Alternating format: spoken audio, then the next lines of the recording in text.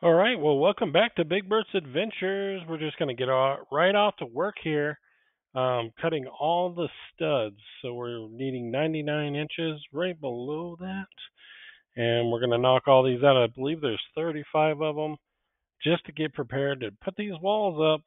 So we're doing the big wall in the living room, and we're doing the bedroom walk-in closet. So um, this is going to be exciting. I hope you guys enjoy this video. I did lose some footage. So the last five feet of the big wall I did lose, but you'll see it in the walkthrough. And it all turned out really well. So thanks for watching. I hope you enjoy this video.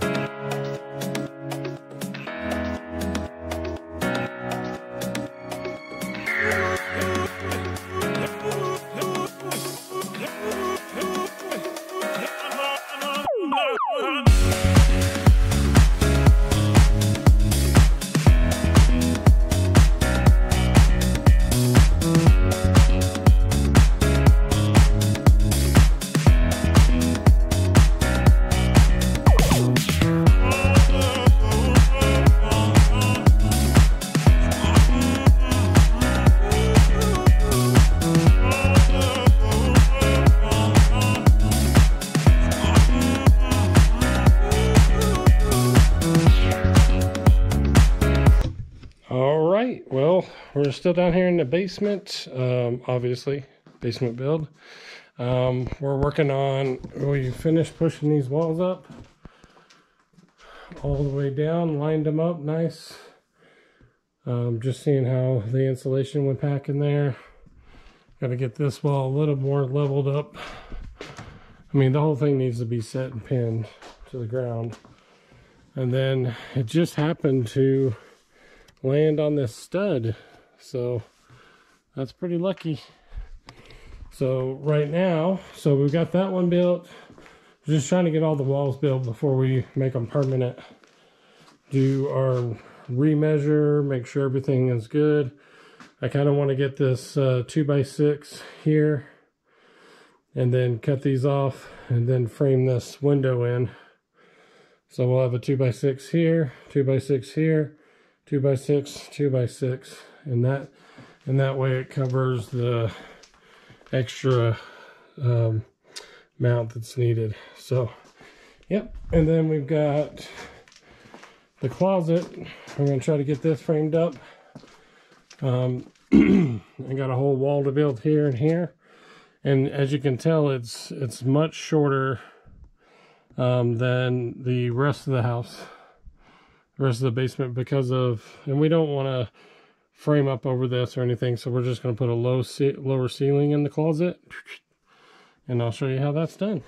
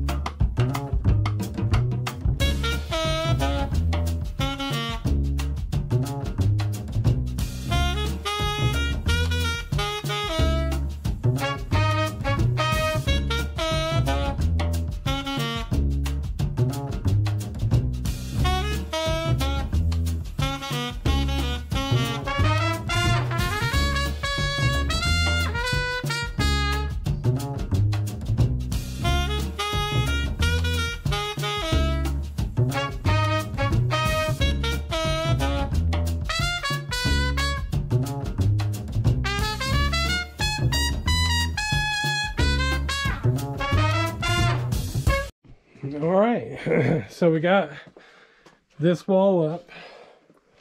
I have to kind of build it in here. I can't build it like a standard frame. So I had to tack this board on and then just build the frame and then go along and drop the studs in. These are on 22 inch spacings. So I learned from the apartment that I usually would leave this blank and we didn't need a stud. So I went ahead and did and finished the 22 inch out. Then you have these little pockets here. But I'm going to start working on this back wall here. Get everything leveled up from this side. I've still got to put a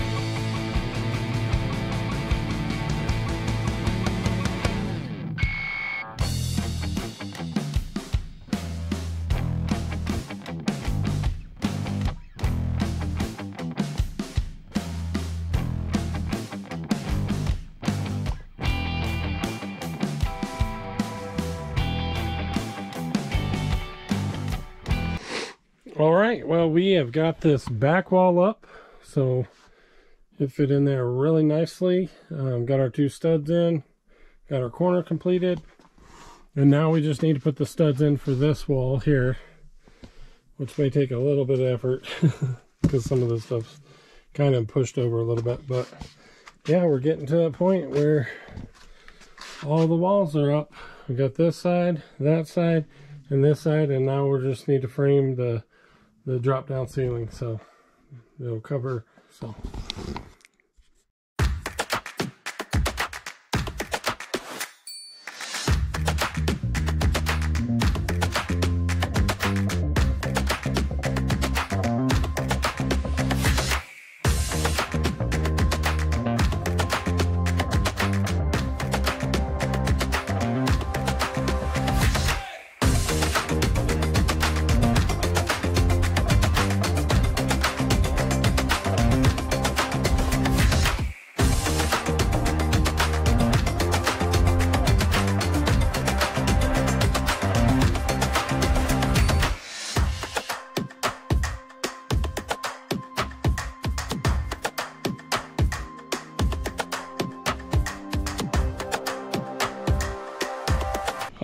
right, let's wrap this day up of framing.